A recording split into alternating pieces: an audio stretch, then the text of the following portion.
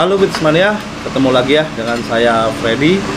Jadi di video kali ini saya ditemani dengan salah satu motivator saya. Jadi beliau adalah siapa? Yang nggak kenal? Sikat. ya, kenal di sikat dulu. Iya, Bang Iget ya. Jadi di video ini kita mau bahas tentang topik yang cukup menarik yaitu dari komentar sebelumnya di video-video saya. Mungkin banyak juga yang dipertanyakan ini udah nggak tabu lagi yaitu masalah rokok ya.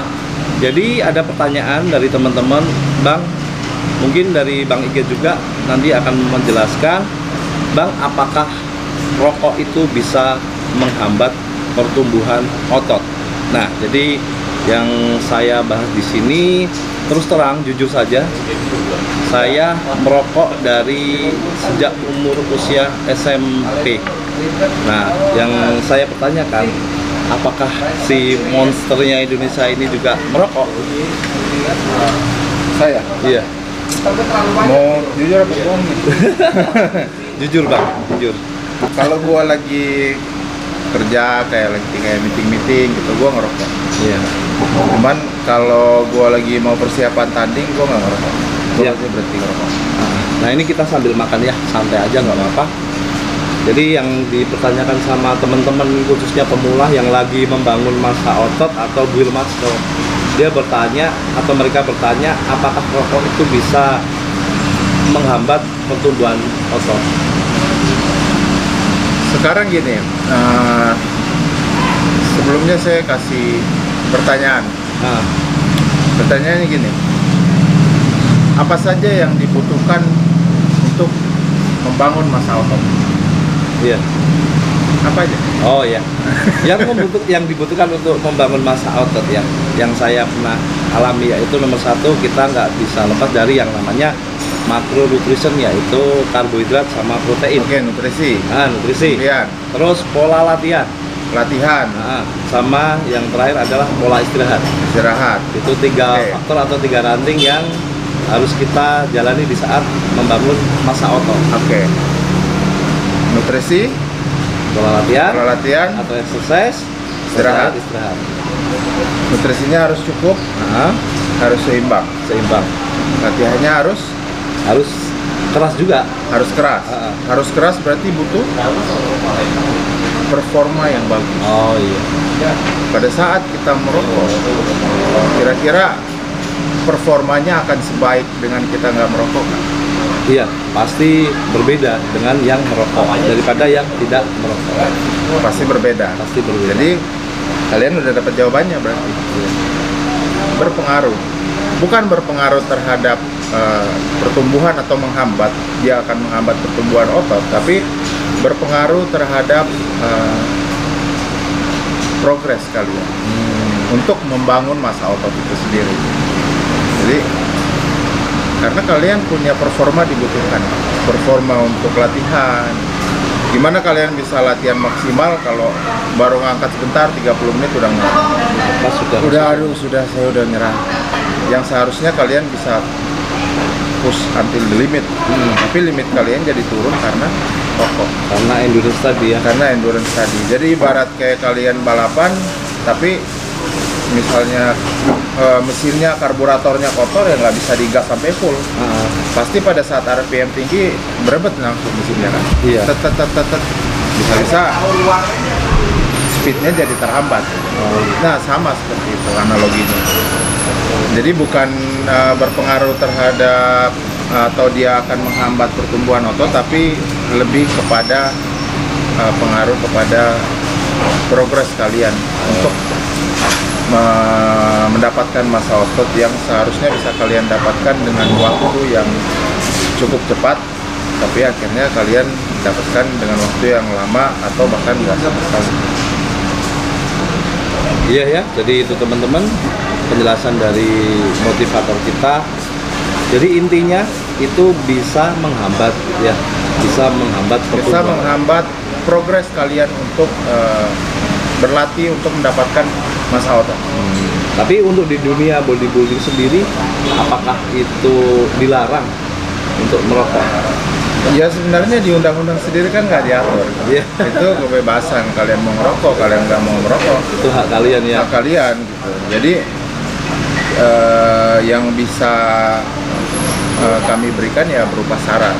Iya. Kalau misalnya kalian nggak ngerokok, jangan ngerokok. Ngapain? Udah sehat terus dirusak badannya kan? Iya. Kalau saya dikasih pilihan antara merokok dan nggak merokok juga saya pilih saya nggak merokok. Tapi itu kan efeknya kecanduan juga, Bang. Sampai sekarang pun kita untuk menghilangkan ya agak susah juga. Nah, itu tips Iya. buat teman-teman itu gimana? Saya pernah berhenti sampai benar-benar nggak merokok. Jadi sebenarnya itu eh, kata-kata kata dari para peneliti yang mengenai sebenarnya di sini mind is Mindset kita ya. mindset kita. Jadi kalau kalian mau berhenti dari rokok itu sebenarnya yang perlu diper- diperkuat itu adalah eh, pikiran kalian. Itu pernah gue alamin dan bahkan gue alamin pada saat gue mau persiapan tanding. Jadi Performanya pasti turun ya. pada saat gue mau persiapan tanding pasti gue berhenti dan gue bisa berhenti. Jadi teman-teman gue itu sampai kaget. Kit, kok lu bisa berhenti ngerokok sih?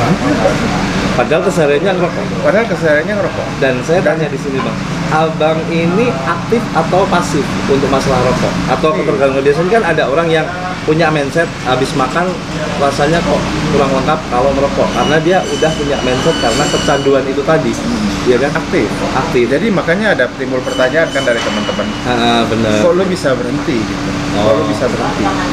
Gue bilang gue mau persiapan tanding. Kok bisa? Nah di situ gue simpulkan ya dari kekuatan pikiran.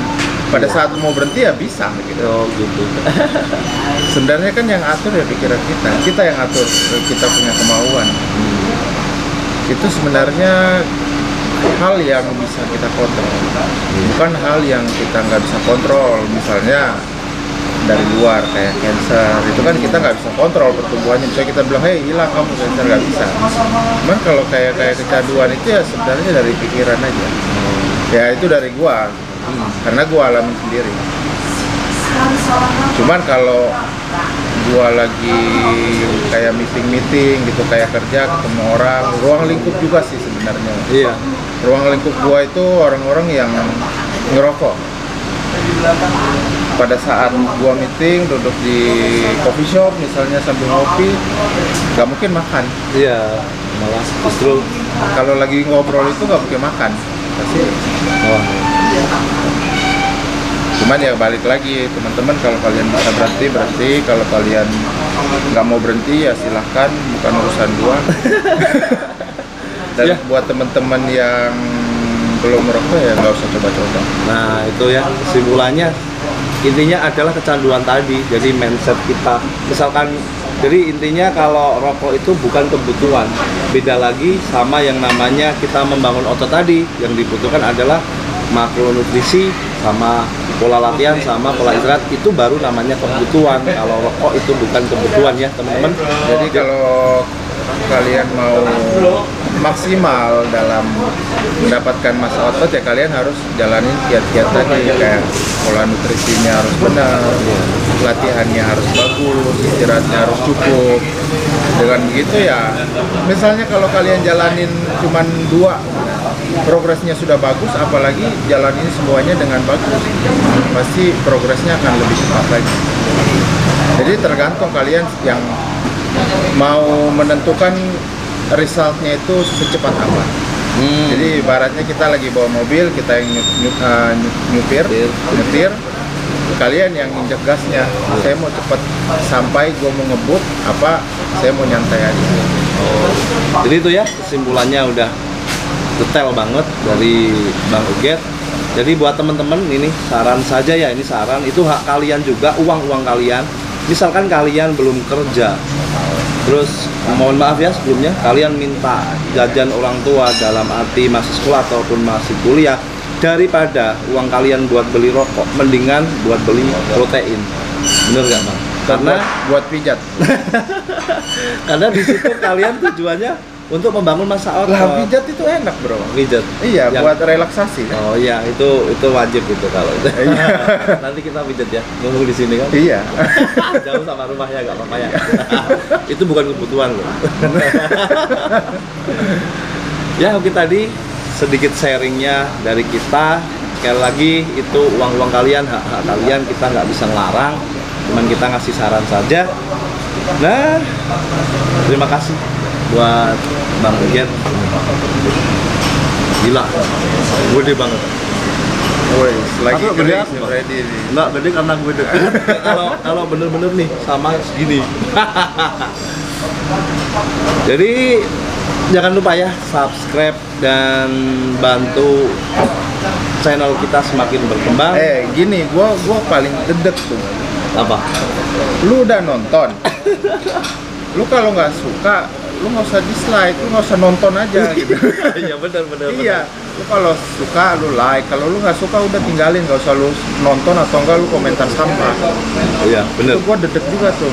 Masukan itu. Iya, karena gini loh, kayak youtuber-youtuber itu mereka kalian harus hargai lah. Kenapa? Mereka menyempatkan waktu, menyempatkan tenaga atau pikiran mereka. Kayak misalnya gini, kayak kontennya Freddy. Ini kan konten yang dia share manfaat. Kalau dia ada salah-salah kata atau apa nggak usah dibully lah. Kecuali misalnya konten-konten yang Yang ber- bermanfaat. tutorial bernapas dalam air atau makan indomie 50 bungkus nah, Nah, itu itu. nggak guna sebenarnya Tapi kenapa justru channel yang kayak gitu view-nya banyak? Bang? ya gua nggak tahu lah selera masyarakat Indonesia Oh, ya itu kembali lagi ke kualitas masyarakat kita sebenarnya Iya. ya gua nggak mau komentar banyak lah soal itu cuman yang mau gua sampaikan ya kalau kalian suka kalian like. Kalau kalian mau terus mendapatkan update ya kalian subscribe dan notifikasi. Jangan lupa. Kemudian kalian share juga ke teman-teman kalian yang sama yang kira-kira ingin mendapatkan manfaat tentang eh, pola hidup sehat Mhm. atau yang sejalan dengan pikiran kalian. Itu kalian share ke mereka biar mereka juga mendapatkan informasi mendapatkan manfaat dengan apa yang sudah kita bagikan Iya, jadi kita di sini nggak pelit masalah ilmu apa pun itu semua kita juga namanya belajar bareng. Iya. buat yang komentar-komentar sampah gue pengen sekali-sekali datengin ke muka gua kan Bang Inggit badan lu, lu pakai steroid ya? Ya, Nah, gitu itu. baru gua akun. Itu nanti masalah steroid. jangan anonim terus numpang lewat kan Nah. komentarnya nggak enak gitu. Nanti ada di channelnya Bang Fuad juga masalah. nah itu nanti dibahas ya Iya, jadi kita bakal kolaborasi terus. Jadi sekali lagi jangan pelit untuk share dan like dan bantu kalau video ini emang bermanfaat buat kita semua. Kita niatnya di sini maju ke depan bersama. Ya Bang ya. ada lagunya Apa? maju juta Membela yang salah gitu. waktu gua corona ini Oke ya, cukup di sini video dari saya. Nih, jangan lupa komen apa? eh Subscribe. channel gua nih The Executioner Nah, IG itu ada Mas Fuad juga sama Instagramnya juga kepo-kepoin aja yang belum tahu. Siapa tahu kalian bisa jadi seperti beliau. siapa tahu kalian bisa jadi tahu Oke ya. Jaga kesehatan terus buat teman-teman. Selalu aktivitas fisik, pola makan dijaga, istirahat yang teratur, dan salam buat keluarga tercinta teman-teman di mana pun kalian berada. ma bapak Dadah.